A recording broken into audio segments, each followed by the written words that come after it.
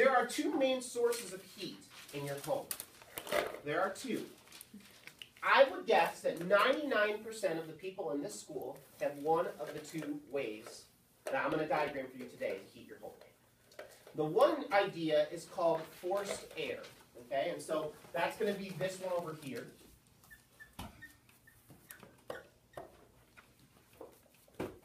Forced air. And then this house is going to have what we're going to call hot water heat. Oh, I think. Why is there? Now, I'll explain the basic uh, outline of what you see here.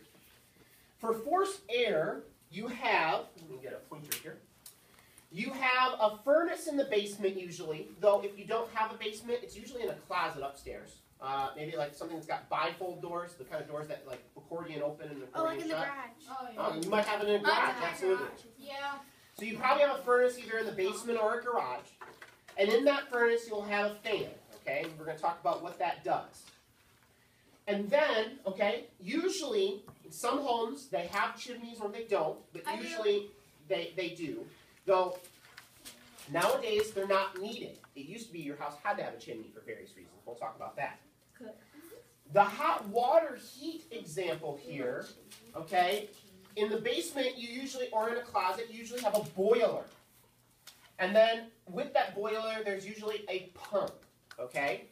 So what you should understand is that fans move air, pumps move liquids. Okay? Yeah, Isabel? Is that why they have like the close to your water thingy or whatever we're looking? Um, they have that big screen that gets in all the dust from the air. It takes in all the dust from the air. Yeah, you uh, furnace filter. Yeah, that thing. Yeah, because when you're moving air through a furnace, you want to filter out all the little all the little dusty particle things. Dander, dust, fur, Mold allergens, mold spores, things like that. Sure. Yeah, I guess right. Okay? Um, Jackson. Just like in like the wash, the washers have them too. Washers have similar, yeah, they have um, The dryers do, I won't touch it. okay? I won't touch the fluffy stuff that comes. I You love mean that stuff. I Yeah, play the with lint it. trap? That's Mr. B. My mom. Hang on, hang on, we're getting off target here. I want to talk about forced air and hot water heat. Okay, both of these models are going to use the three main ideas we talked about to move heat, okay? They're going to use the following. They're going to use conduction, which we think of as collisions between atoms the transfer of energy through collision. Convection, which we think as the circular motion of air. Okay, we also think of it as expand, uh, float, shrink, sink. Okay, so we have convection, conduction, and then there's one more. What's the last way that we move heat? This is usually through invisible energy waves that carry high energy, and when they strike atoms, they energize them and make them have a lot more energy, and so we'd say their temperature increases. What do we call this? Okay? Michelle uses this. Those red lamps that are on her. Yeah, Radiation. radiation.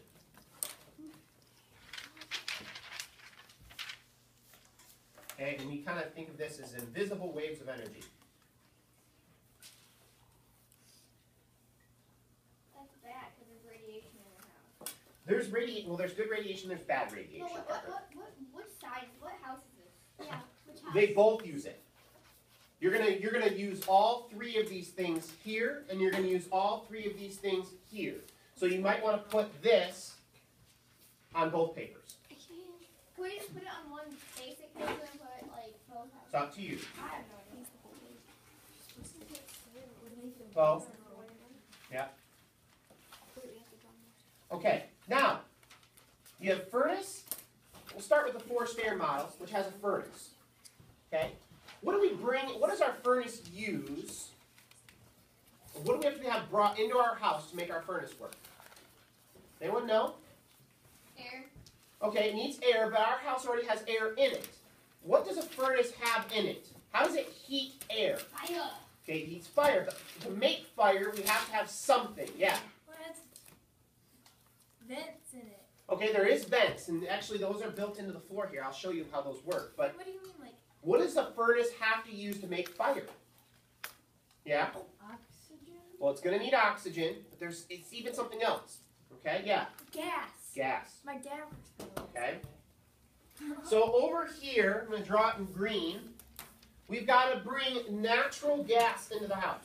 Now, some of you don't have natural gas. You live out in the country. And sometimes out in the country it's harder to have it. So this natural gas Why is marker's not working very well. Natural Natural gas is bad for you. well, it's not bad. It's how we heat our homes. Natural gas, ladies and gentlemen, is what's brought into our homes. If you don't have natural gas, you probably have propane. Oh. Yes, Miss Pennekamp. Um, is the natural gas coming in? So when I draw an arrow coming, it's coming into the Yeah, that would be a great idea. I'll add that to my diagram as well.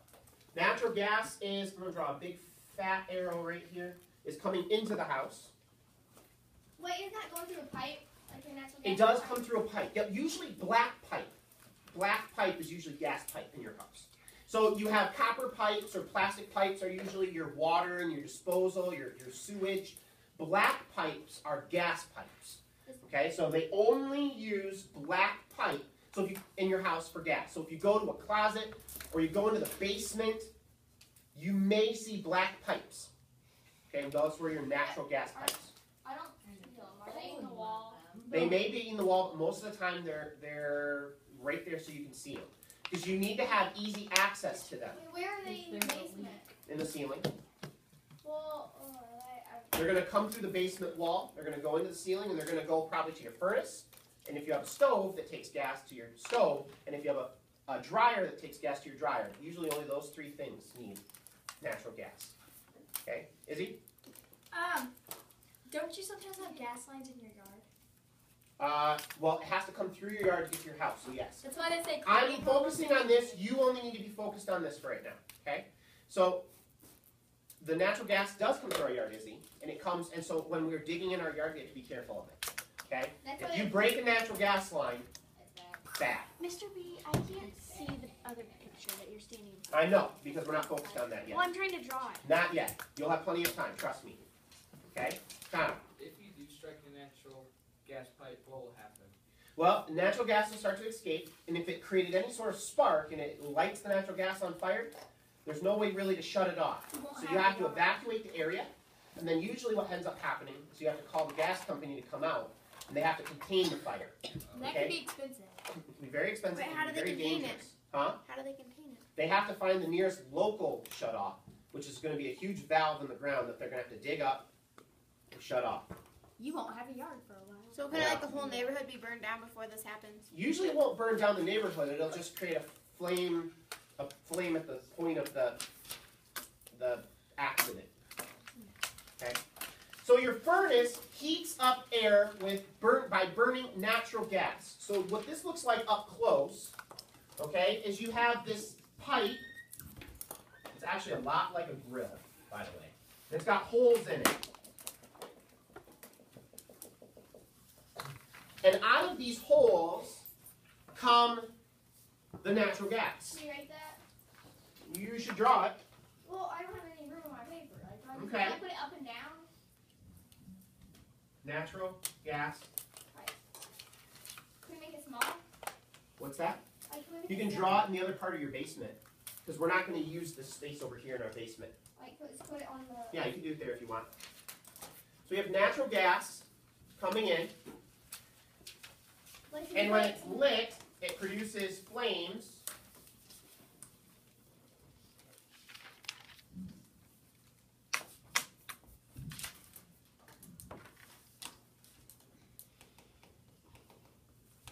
Wait, that's how your grill works. It's exactly the same idea as a grill. Sure.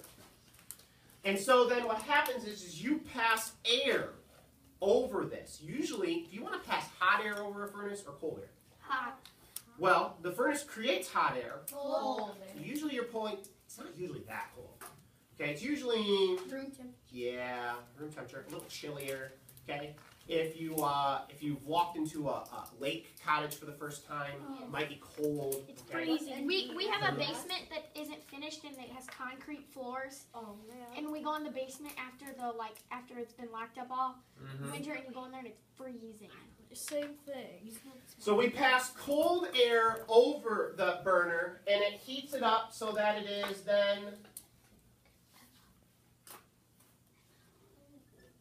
hot air.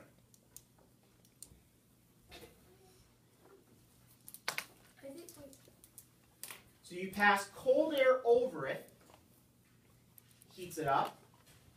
And if that was it, and it used to be that was in our homes, if that was it, then that's all that would happen. It would heat up the air in the basement, and then usually, what do we know about convection?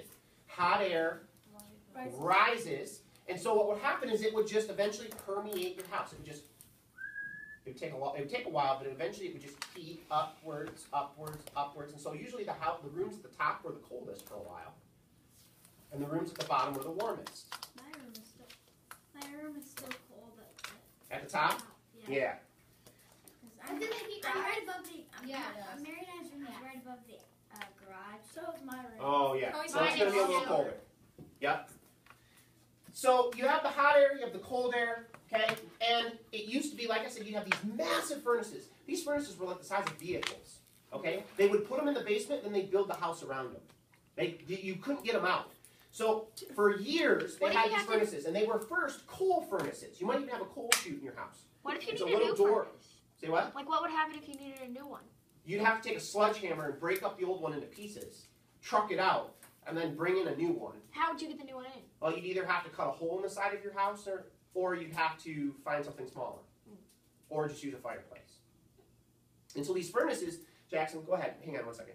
They they yeah they would uh, sometimes they were usually coal, and so they had these coal chutes in the sides of the walls of the house. Anyone have a really old house? Wait, how old? Are you? Um, early 1900s, maybe I- 1900 to Jackson, your house 1950. No, my other one. I, I used to we have watched, it in uh, my In until I town. moved. Yes, you watched. Uh, Or, no. Well, when we went on the art tour um, around downtown Fort Wayne yeah, in fifth be it. grade, we Mhm. saw a lot of like older houses, and there was one like with like a furnace in the wall where you put the coal in, and then the hot air went out the side. Yep. That they made little doors. If you see them, you actually can see them in the neighborhoods here. Mrs. Cunningham probably has one in her house, and she has a, a really old home here in Fort Wayne. It's beautiful. Uh, you have this these little doors in the sides of the houses, and they used to open up. And a guy would drive a truck around. This is all he did. He would shovel. It was really important. It kept people. We had Warm. one of those in our house, but our house is really new. Like it's well, it's like on the side of our house, it's like a little door. Like it's just a tiny little door. I don't know what it's for, but you open it and it has like it like there's cobwebs and it's like Oh, that might be access to either a crawl space. because that's it's this no, it's the same spot where our fireplace is. Because we have a fireplace, and it's like our fireplace backs up to it, and like It might. You have a wood burning fireplace? I don't. We have like a key that you have to stick in. Okay, so it's a gas fireplace. It may have been that your fireplace was, um, it may have been your fireplace was wood burning at one time, and that's where they would shovel the ash out. Oh, because our house is like it was born in it was not born. Your house was floored. Oh, fantastic! Congratulations. it was it was um constructed in like the early 2000s. Okay. Well, I'd have to. I'd have to. I'd be curious. Homes have weird little little things about them. I'm sure it serves a perfectly solid function. We I've never seen us use it like No, then it's probably not. It's probably not a coal chute because we don't use coal. We haven't used coal for many years. But you can. The guy used to go around and shovel coal, and he would shovel it into the basement, and then it would. Then you would go down every day and you'd put a shovel full of coal in the furnace, and it would heat your house every day. Couldn't someone just like break into your house through that door? No, because it was usually a huge conveyor belt. Yeah, that Because most people didn't before stockpile coal outside their house. No, no, no, no, no, no, no, no, wood. no. The truck would have a big conveyor belt like this touch pad that would like put it out. Parker, it was the early 1900s. Early 1900s. They didn't even have the first internet. computer had not been invented yet. Or Okay. TV. So they got like a- All right, let's get back. Let's get back to it. We've gotten to the point where we've got hot air, but we have no way to push it around the house. That's where the fan comes into play. The fan. I'm going to draw two two things here. the fan pushes hot air. I'm going to draw this in red. Pushes hot air out into your house, Should we do that? okay, through vents in your walls. Now, your vents might be on the side of your wall, might be in the floor. Sometimes the vents are even up near the ceiling. Uh, no, that's not as common anymore. That'd be bad because all the heat would rise and it'd stay up there. You're right, Parker. That's exactly why we don't do it anymore. That's very good. So we push all of this hot air out into the room, like so. Okay? However, when we push the hot air out, the room has cooler air in it up here. Okay? I'm going to call this cool air. And where does that cool air have to go? I have to go out of the house.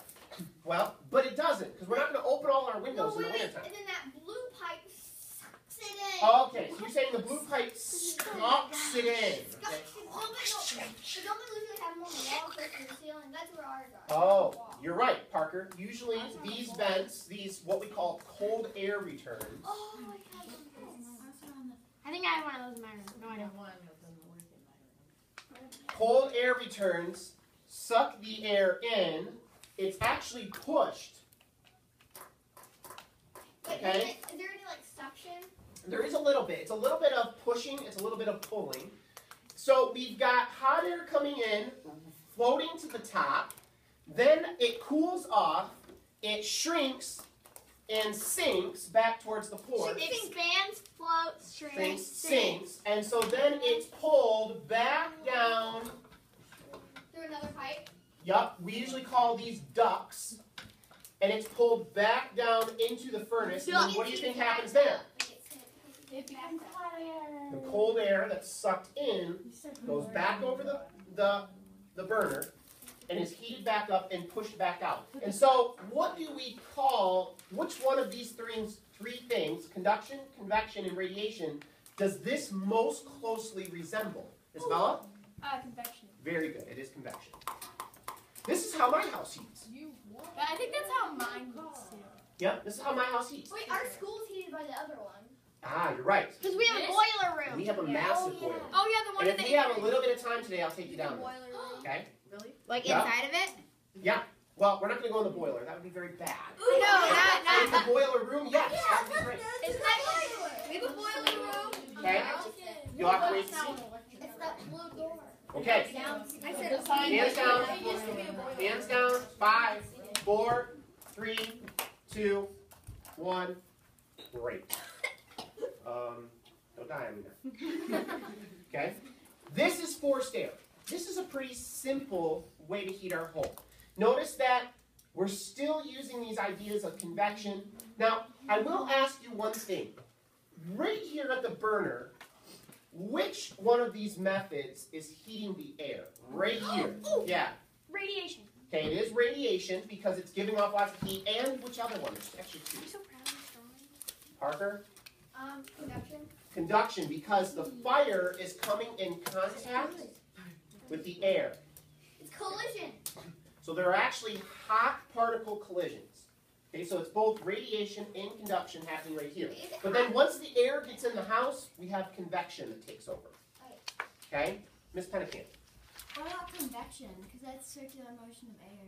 It is. But I'm talking about where the cold air comes into Oh, okay. contact with the fire. Yeah. Okay?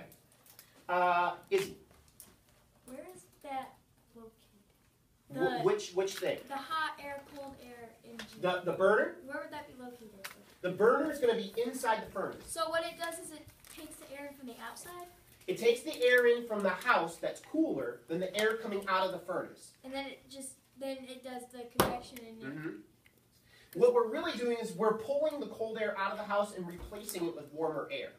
And so when your furnace kicks on, and if you have a furnace, as a model like this in your house, what's happening is you're just circulating all the air in your house back through the furnace to get re-warmed up. Oh. And so all winter, your house is going to circulate that same air through your furnace. Now, after a while, in the wintertime, hang on, hands down. In the wintertime, people start to get like, the house feels kind of stuffy. It's because usually we've been circulating the same air in our house all winter. And so that's why we like to open our windows up in the springtime, because it lets all fresh new air in the house. We open up in the winter. Sometimes we open it up in the winter too. Sometimes Mrs. Bornheimer and I are like stuffy. Okay, so we gotta get that fresh air in there. That's why we use the term fresh air. Well, then why don't they just use the air from outside? That would be fresh air. I thought from- they used, no, we used, I mean the furnace. They use Ah. the same air in the house. Why don't they just use That's a great idea. That's a great question, Isabella. And let me explain why. I think pay attention to her question. Why don't we pull really, really, really, really, really, really, really cold air from outside into our house? Isn't it too long? Well, which one's going to require more energy to heat up? Air that's already been heated up once and is kind of warm, or air that's really, really cold from outside? Which one's going to take more energy to heat up? Uh, Miss Lalonde? The air from outside. And your parents are probably have talked about energy efficient, trying not to use too much natural gas, No. so they can get their heating bill down because they don't want to pay too much on their heating bill. I have to take Because if they have to pay a lot on their heating bill, then it gets the pocketbook gets a little tight. See, here's what happens if we pulled cold air in from outside and tried to heat it every time we tried to heat our house. We use a lot of natural Okay, first of all, there would be nowhere for hot air to go because the hot air pushes the cold air down. They could make a new vent. Okay, they could make a little bit. They could make another vent to let somewhat of it go out. But then here's the problem again. We are using a tremendous amount of gas to heat the house. It'd be like putting your furnace outside and trying to heat your neighborhood. It would just Oh. run and run and run and run and run. Thousands of years Next later. door would be rich. They would. Them up here. All right. I think we get the idea here. Let's. I want to get through this one so that maybe we can take a small field trip downstairs Woo! to see what our boiler does. Are we really allowed to? We'll just peek in, sure. All right, ladies and gentlemen, here is the boiler or the hot water heat house. Okay, and this particular house also is going to require natural gas to come in. So I'm going to draw some natural gas here. Get my green marker. Natural gas has to be brought in the house where? Oh, okay. to the boiler. By the way, the boiler uses the same kind of burner, but instead of heating air, what does it heat? What does a boiler heat?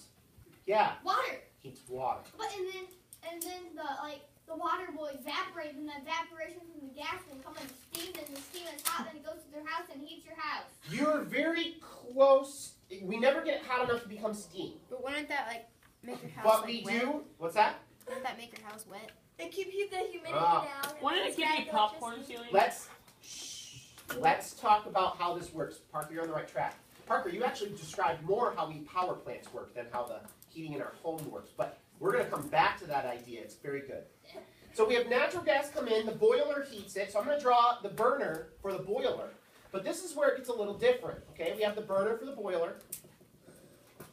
Natural gas comes into the burner, just like in the forced air.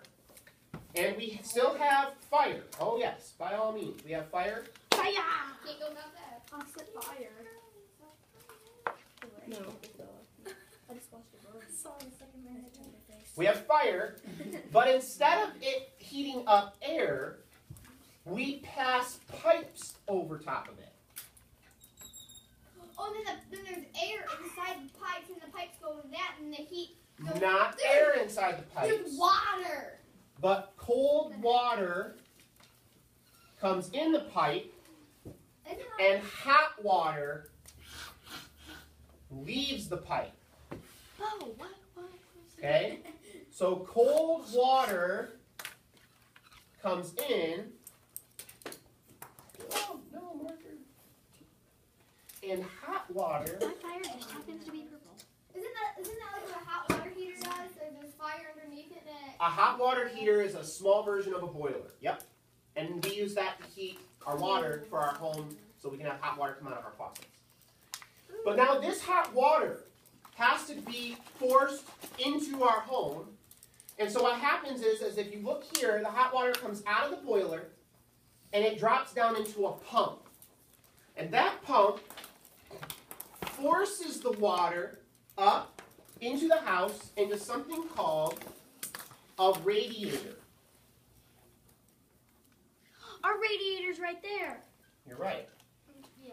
It makes a lot of noise in the fourth grade. Right? No, in the fifth grade. Fifth grade. Mr. Eagle said it was gremlins. Okay, radiator. Now, here's the thing about a radiator, Where's the oh radiation? and I want to kind of draw your attention over to the room over here a little bit. And I'll get a video of this on my phone to add to our discussion. You took the safety Take a look over here, and if you need to um, get up briefly, just avoid the camera, come around real quick. Okay? Come over here and take a look. You took the safety guard off. Yep. Okay. Here's the radiator. I want you to notice here on the right hand side the pipe coming up through the floor. And it comes in here, and then there's the radiator along the wall. Notice the radiator is above, or excuse me, below the window. Okay, windows are the coldest part of your house. Snowing. It is indeed snowing. It is the coldest part of your house, and so we put the radiator near the window to try to counteract the effects of the window, which cools off air in our homes. And notice the radiator is long, but what I really want you to pay close attention to as I scoot forward here are these things called the vents, or these little ridges, which are kind of sharp, so don't touch them. And they're on the pipe of the radiator. Okay? They direct air. Well, they kind of do. What they do is they heat up with the pipe, and they can touch more air. And so, therefore, because they can touch more air, they can heat up more air quickly.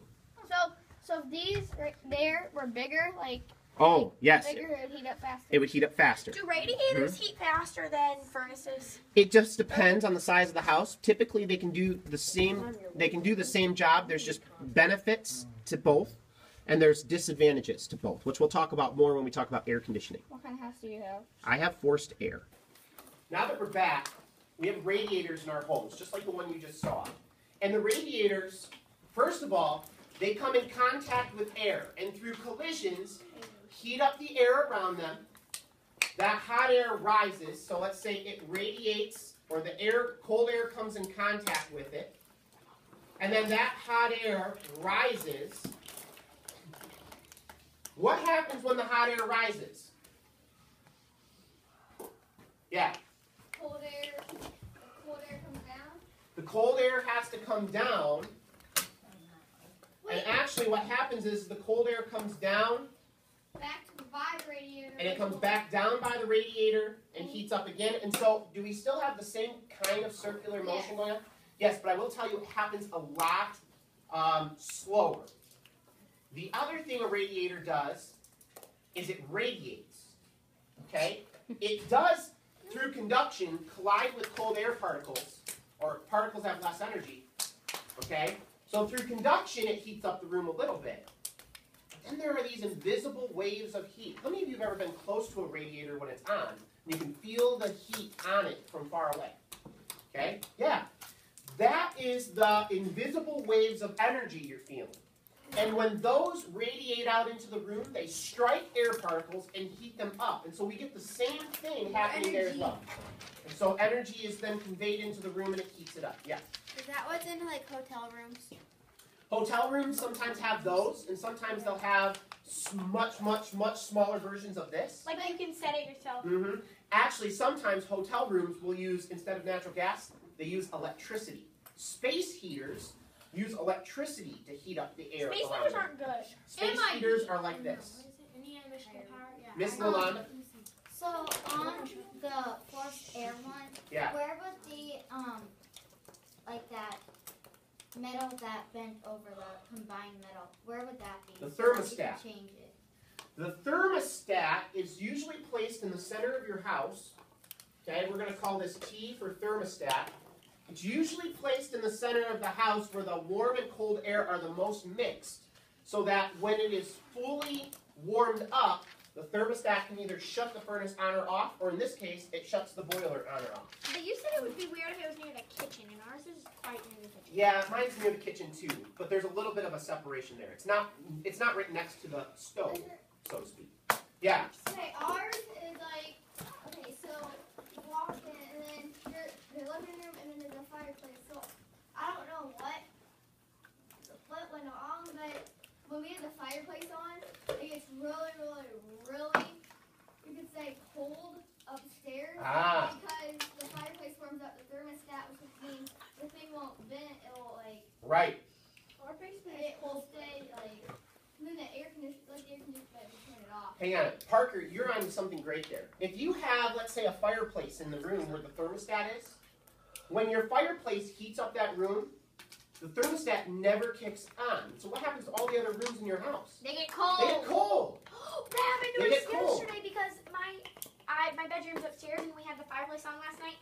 And I went upstairs and my room was cold. Yeah, because the heat hadn't kicked on because it didn't think it needed to.